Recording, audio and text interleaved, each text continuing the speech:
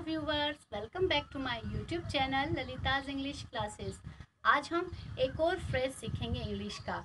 एक और phrasal verb को सीखेंगे, क्योंकि बहुत ज़्यादा यूज़ होता है फ्रेजल वर्ब्स का स्पीकिंग में, ठीक है? और अगर आपको अच्छी स्पीकिंग सीखनी है, अंग्रेज़ी बोलनी है तो आपको इन फ्रेजल वर्ब को यूज़ करना ही पड़ेगा। तो आज की जो फ्रेजल वर्ब है, वो है हैंड ओवर हैंड ओवर आपने सुना होगा शायद, ये बहुत सारे गानों में भी यूज़ किया जाता है इसका। तो हैंड ओवर का मतलब होता है सौंपना। एक तो होता है देना तो उसके लिए तो हम क्या यूज़ करते हैं? गिव लेकिन ये सौंपना थोड़ा अलग यूज़ किया जाता है हिंदी में भी तो इसके लिए हम इंग्लिश में यूज़ करेंगे हैंड ओवर का, ठीक है?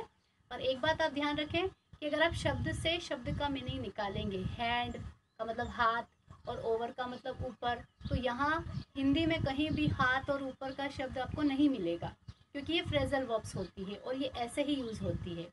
तो सेंटेंस एक ले लेते हैं ताकि आपको अच्छे से समझ में आए। उसने पैसे सौंप दिए। उसके पास पैसे थे तो उसने किसी को सौंप दिए। दे दिए, थोड़ा अलग रहेगा, ठीक है?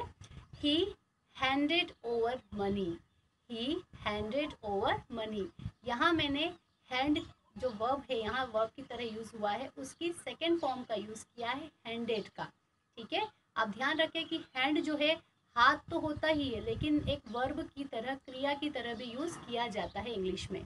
तो ये पास सिंपल टेंस का वाक्य था, इसलिए मैंने इसको हैंडेड करा है, ठीक है? अगर आपको पास सिंपल टेंस नहीं आता है तो उसकी वीडियो भी मेरे चैनल पे है, आप जाकर ज़रूर देखें। आपको बहुत अच्छे से समझ में आएगा। तो आज हमने इस हैंड ओवर प्रेजल वर्ब को सीखा। अगर वीडियो अच्छा लगा हो तो लाइक करें शेयर करें और कमेंट करके ज़रूर बताएँ। और चैनल को सब्सक्राइब भी ज़रूर करें। Thank you so much